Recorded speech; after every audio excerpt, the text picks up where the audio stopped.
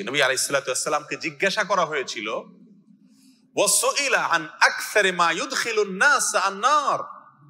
মানুষকে সবচেয়ে বেশি জাহান্নামে নিয়ে যাবে কোন জিনিসে জিজ্ঞাসা করা হয়েছে নবী সাল্লামের কাছে। কোন কাজে মানুষকে সবচেয়ে বেশি কোথায় ঢুকাবে? জাহান্নামে ঢুকাবে। কোন অঙ্গের কারণে, কোন অঙ্গের অপরাধের কারণে মানুষ জাহান্নামে বেশি যাবে? নবী সাল্লাল্লাহু আলাইহি ওয়াসাল্লাম ইরশাদ করেছেন আল ফামু ওয়াল ফারাজ দুটি অঙ্গ ভাই, এক হলো মুখ আর এক হলো লজ্জাস্থান। এই মুখ দিয়া দ্বিতীয় সর্বোচ্চ গুনাহ আমরা করি।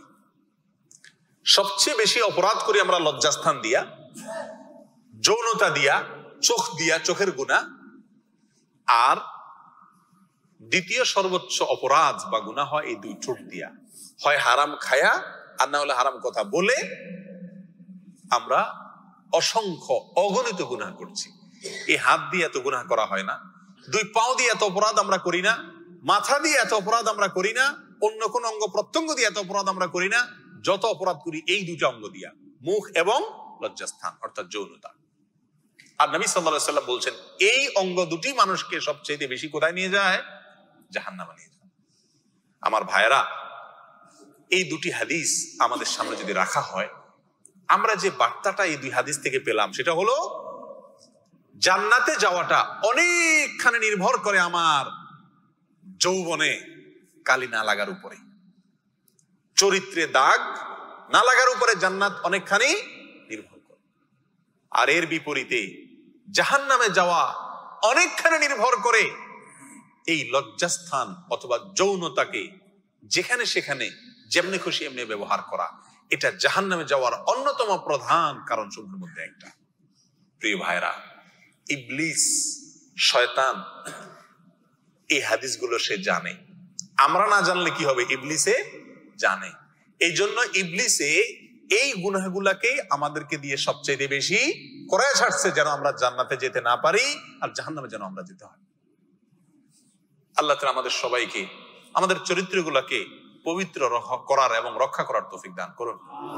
প্রিয় ভাইরা আল্লাহ সুবহানাহু নারী জাতিকে সৃষ্টি করেছেন, আমাদের সঙ্গী করেছেন, তারা আমাদের সঙ্গী, আমাদের সকল কল্যাণের সঙ্গী। কিন্তু এর পাশাপাশি নবী করিম সাল্লাহ সাল্লাম আমাদেরকে সাবধান করে গেছেন যে নারীরা, মহিলারা, তারা হলেন পুরুষদের জন্য সবচাইতে বড় ফেতনার কারণ। ফেতনা মানে পরীক্ষা। ফেতনা মানে কি ভাই? পরীক্ষা। ফেতনা শব্দের একটা অর্থ হলো পরীক্ষা। নবী সাল্লাহ আলাইসাল্লাম ইরশাদ করেছেন, উসামা ইবনে জায়েদ রাদিয়াল্লাহু তাআলা হাদিসটি বর্ণনা করেছেন। বুখারী, মুসলিম একযোগে হাদিসটি বর্ণিত হয়েছে, মা তারাকতু বাদি ফিতনাতান হিয়া আদাররু আলার রিজালি মিনান নিসা। নবী আলাইহিস সালাম বলেন, আমি তোমাদের মাঝে তোমাদের মাঝে পুরুষদের জন্য মহিলাদের চাইতে ক্ষতিকর কোন পরীক্ষা, কঠিন কোন পরীক্ষার বস্তু আর রেখে গেলাম না। কে বলছেন? নবী সাল্লাম বলছেন, প্রিয় ভাইয়ারা, কোন দয়াময় বাবা, কোন দয়াময় অভিভাবক, কোন দয়াময় মুরব্বী তার মৃত্যুর সময় বা মৃত্যুর আগে তিনি তার প্রিয়জনদেরকে বলে যান, বাবা, আমার অমুক অমুক সম্পদটা অমুক অমুক জায়গায় আছে। এগুলা হিসাব করে নিও তোমরা। আর খবরদার, অমুক অমুকের সাথে চলিও না, এই কাজ করিও না, খবরদার। কারণ তার সারা জীবন থেকে তিনি যে ক্ষতির পথগুলো তিনি চিহ্নিত করে পেয়েছেন করতে পেরেছেন, সেগুলো আমাদেরকে বলে যান কি যান না? নবী সাল্লাম অত্যন্ত দয়াময় ছিলেন। আল্লাহ তাকে কোরআনে উপাধি দিয়েছেন, রউফ, দয়াময়। তিনি দয়ালু। তার ভিতরে দয়া, পরবশতা আছে। তিনি আমাদেরকে ভালোবাসেন, অনেক মায়া করেন। আর সেজন্য বলে গেছেন, মা তারাক্তু মা তারাক্তু মিনান নিসা। আমার পরে, আমার মৃত্যুর পরে পৃথিবীর সমস্ত মোমেন পুরুষদের জন্য মহিলাদের চাইতে, মেয়েদের চাইতে বড় ক্ষতিকর কোন পরীক্ষার বস্তু আর রেখে গেলাম না। অর্থাৎ একজন মমিনের ইমানের পরীক্ষা, একজন মমিনের আমলের পরীক্ষা, একজন মমিনের তাওহীদের পরীক্ষা, একজন মমিনের ইস্তেকামতের পরীক্ষা, একজন মমিনের তাকওয়ার পরীক্ষা, অন্য কোন বস্তুর দ্বারায় এত কঠিন হয় না। যত কঠিন হয়, একটি নারীর দ্বারায় কি বলেন?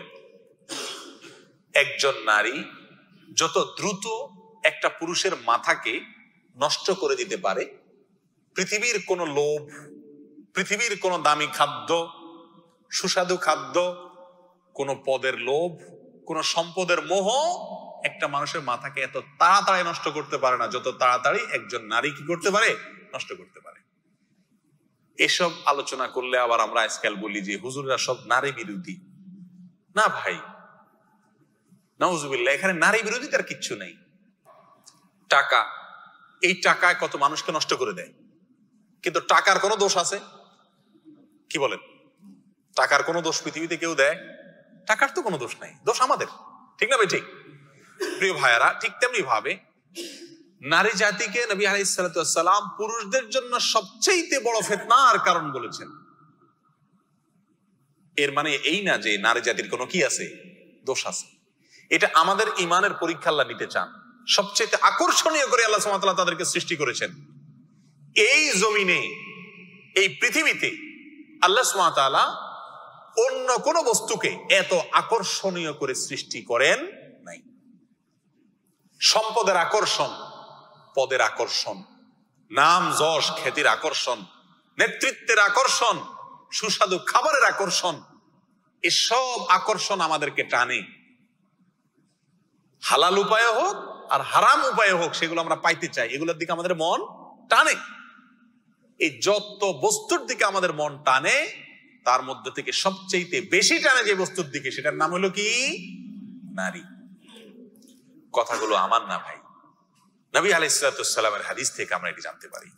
প্রিয় ভাইরা তাহলে একজন বুদ্ধিমান, একজন জ্ঞানী, একজন বিবেকবান মুমিনের কাজ হলো নারী সংক্রান্ত বিষয়ে, মেয়েদের বিষয়ে, কোরআন এবং সন্না যে সাবধান করে গেছেন আমাদেরকে, যে পদগুলোর ব্যাপারে সতর্ক করে গেছে, সেই পদগুলোর ব্যাপারে সাবধান থাকা। তাহলে কি হবে? এই পরীক্ষায় সে ফেল মারবে না। এই ফাঁদে পাও দিয়া তার জীবন নষ্ট করবে না, ইজ্জত হারাবে না, মা বাবা হারাবে না, সম্পদ হারাবে না, পরিবার হারাবে না। প্রিয় ভাইয়েরা, কত মানুষ আজ আমাদের দেশে পরকিয়ার রোগে আক্রান্ত হচ্ছে। কত সংসার ছিন্ন ভিন্ন হয়ে যাচ্ছে। কত শিশু বাবার আদর থেকে বঞ্চিত হয়ে যাচ্ছে। কত স্ত্রী স্বামীকে অকৃত্রিম ভাবে ভালোবেসেছিলেন, তিনি বেইমানি করেছেন। কত স্বামী তার স্ত্রীকে ভালোবেসেছিলেন অকৃত্রিম ভাবে কিন্তু স্ত্রী বেইমানি করেছেন। এসব সমস্যার মূল আল্লাহ এবং তার রসুল সাল্লা সাল্লাম আমাদেরকে নারীদের বিষয়ে, পুরুষদেরকে যেভাবে চলতে বলেছেন, পুরুষদের বিষয়ে নারীদেরকে যেই যেই ক্ষেত্রে সাবধান হয়ে চলতে বলেছেন, সেটাকে আমরা কি করি না? আমলে নেই না। যার কারণে আমাদের জীবনে অশান্তি আর অশান্তি। লাঞ্ছনা দুনিয়াতেও আখেরাতে তো আছেই। আল্লাহ সুমাতাল আমাদের সকলকে, আমাদের চরিত্রগুলোকে হেফাজতে রাখার তৌফিক দান করেন। প্রিয় ভাইরা নবী আলাইসালামের আরেকটি হাদিস যেটি আবু সাইদ খুদ্রি রাদিল্লাহ থেকে বর্ণিত হয়েছে, সেই মুসলিমে আসছে। তিনি বলেছেন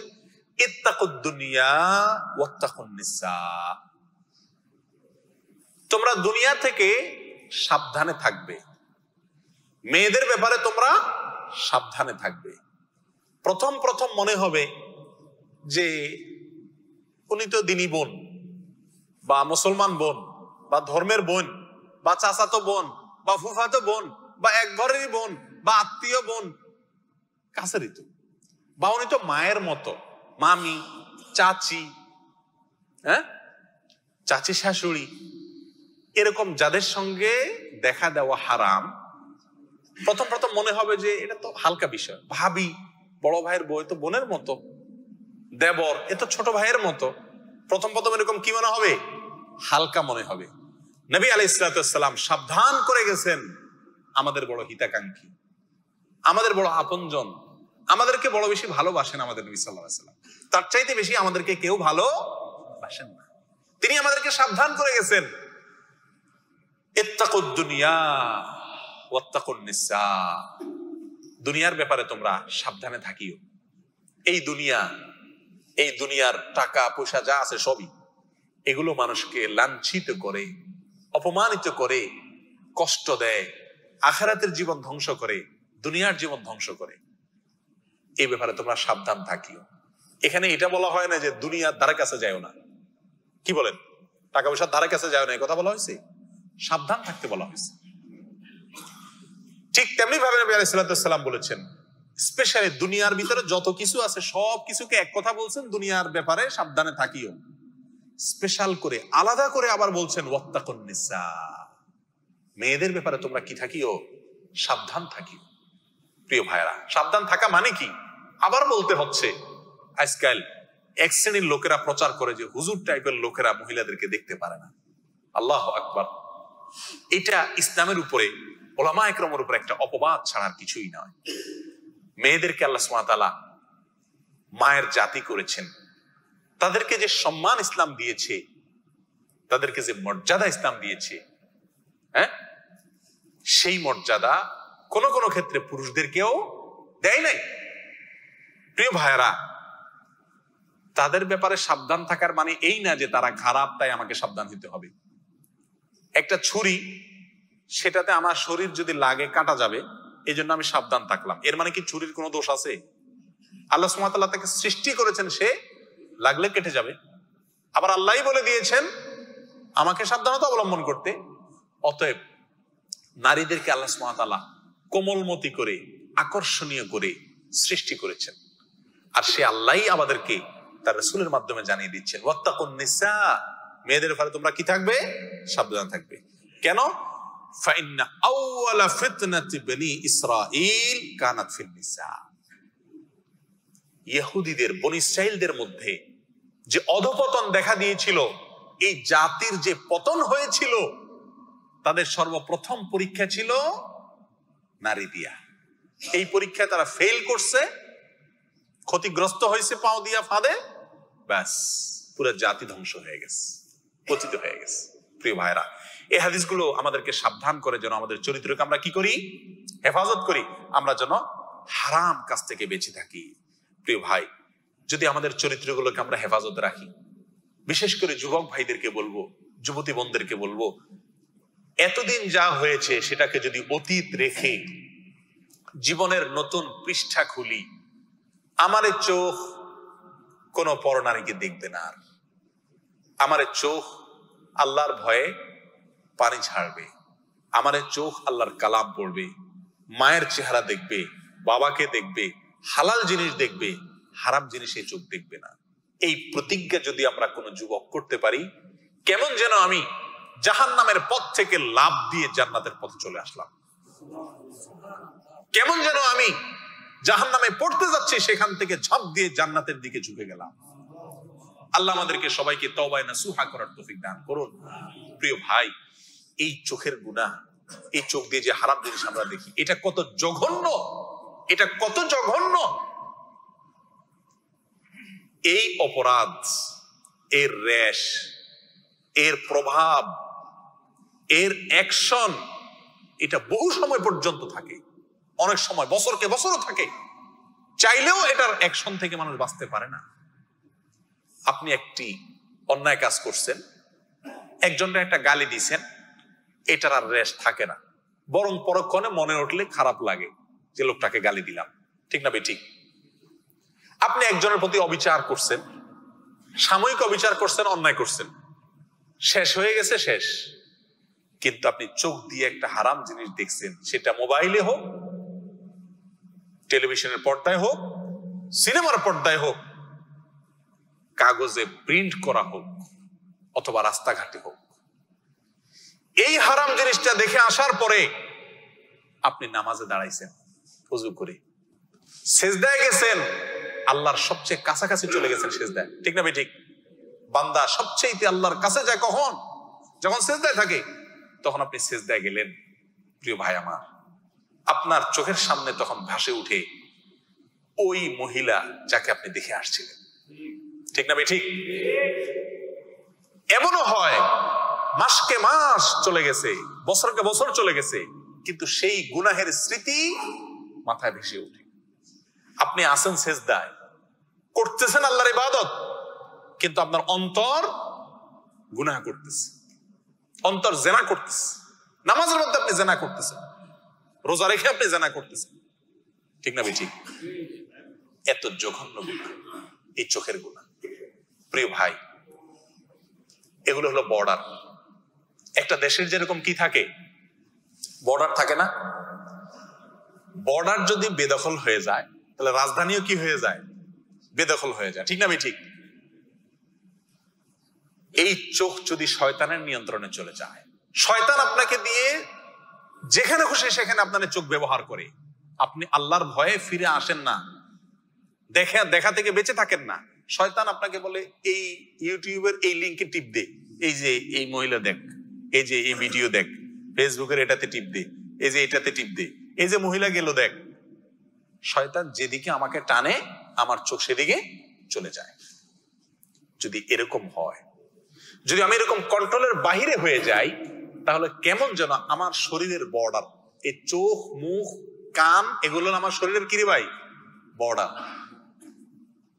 বর্ডারের বিভিন্ন পয়েন্ট থাকে না, ঢুকার জন্য, বাইর হওয়ার জন্য এ কান নাক, মুখ, চোখ, এগুলো হলো আমাদের শরীরের কিরে ভাই? বর্ডার। এই বর্ডারগুলো যদি শয়তানের নিয়ন্ত্রণে থাকে, এগুলোকে যদি শয়তান তার যেখানে খুশি সেখানে আমাকে দিয়ে ব্যবহার করায়, তাহলে আমার শরীরের যে রাজধানী, অর্থাৎ কল্প, আমার যে অন্তর, সেটা কার দখলে যাবে? শয়তানের দখলে যাবে। সারাদিন যেটা দেখব, নামাজে সেটাই মনে আসবে, অন্তরে সেটাই আসবে। প্রিয় ভাই, এই চোখের গুনাকে আমরা গুনাহ মনে করি এর একটা অন্যতম কারণ হলো, এই গুণাটা করা খুব সহজ। চুরি, কি বলেন? এটা চাইলেও তো করা যায় না। নাকি? সবাই করতে পারে চুরি? ডাকাতি, খুন খারাপি, মদ খাওয়া হ্যাঁ? মানুষের সাথে অবিচার করা, অন্যের হক মারা, এগুলো চাইলেও তো মানুষ কি? করতে পারে না। আবার অনেক অন্যায় আছে যেগুলো সামাজিক চাপের কারণে মানুষ করতে পারে না। কিন্তু এই চোখ দিয়ে যে হারাম জিনিস দেখা, এটা আজকে এমন সহজ হয়ে গেছে যে কি নামাজি, কি বেনামাজি, কি দাঁড়িয়ালা, কি বেদাড়িয়ালা, কি ভালো মানুষ, কি মন্দ মানুষ। মোবাইল হাতে আছে, ইন্টারনেটের কানেকশন আছে, যা খুশি তা দেখতে পারে। রিমোট হাতে আছে, যা খুশি তা দেখতে পারে। ঠিক না ঠিক শয়তান তখন আমাদেরকে প্ররোচিত করে, আমাদেরকে বিপদগামী করে, আমাদের দিয়ে হারাম কাজ করায়, আর করতে করতে করতে করতে একসময় বেহায় হয়ে যায়, নির্লজ্জ হয়ে যায়। এরপর এটা নেশায় রূপ নিয়ে যায়। তখন বাঁচতে চাইলেও বাচ্চাটা কি হয়ে যায়? কঠিন হয়ে যায়। আল্লাহ সুমাতালা আমাদেরকে, আমাদের চরিত্রগুলোকে ফুলের মতো পবিত্র করার তফিক দান করুন। এতদিন আমরা যা করেছি, আসন আসন প্রিয় ভাইরা জাহান নামের পথ থেকে লাভ দিয়ে জান্নাতের পথে চলে আসি। করব তো ইনশাল্লাহ যে সমস্ত ভাইরা তবা করবেন, তাদের পূর্বের গুণ আল্লাহ তারা মাফ করে দিবেন। অতীতে আমরা যা করেছি, সেটার জন্য আজ তবা করি। আমার এই চোখ আমি হারাম জিনিস দেখব না। প্রিয় ভাই, দেখার যে জ্বালা, দেখার যে স্বাদ, এই চোখ দিয়ে আমি হারাম জিনিস দেখলাম, হারাম মহিলা দেখলাম, হারাম মেয়েদের দিকে দেখ তাকালাম, সেটা মোবাইলে হোক, টেলিভিশন হোক, কাগজে হোক, বাইরে হোক, সরাসরি হোক আর যেভাবেই হোক, এই দেখার ফলে একটা নগদ মজা পাই আমরা, তাই না? আপনি একটি মুহূর্তের জন্য একটু আপনার এই মজাটাকে আল্লাহর জন্য কোরবানি করে দেন। আপনি দেখতে পাচ্ছেন, একটা ভিডিও লিংক আপনার সামনে আসছে। টিপ দিলেই আপনি দেখতে পারবেন, কেউ নাই। আপনি মনে করছেন যে আল্লাহ তিনি আছেন, দেখছেন। আল্লাহর ভয়ে আপনি ওখানে টিপ দিলেন না, ওইটাকে ইগনোর করে চলে গেলেন। সঙ্গে সঙ্গে আপনি ইনশাআল্লাহ অন্তরের ভেতরে ইমানই স্বাদ অনুভব করবেন। ইমানই স্বাদ করে দেখেন। করে দেখেন, আপনার মনের ভিতরে একটা খুশি আসবে যে আমি আল্লাহর ভয়ে এই একটা হারাম কাছ থেকে বাঁচতে পারলাম। আমার ইমানের পাওয়ার একটু বাড়ছে। কি বলেন? পরীক্ষা করে দেখেন। প্রিয় ভাইরা আল্লাহ সুমাতাল্লাহ বলেন আম্মা হাওয়া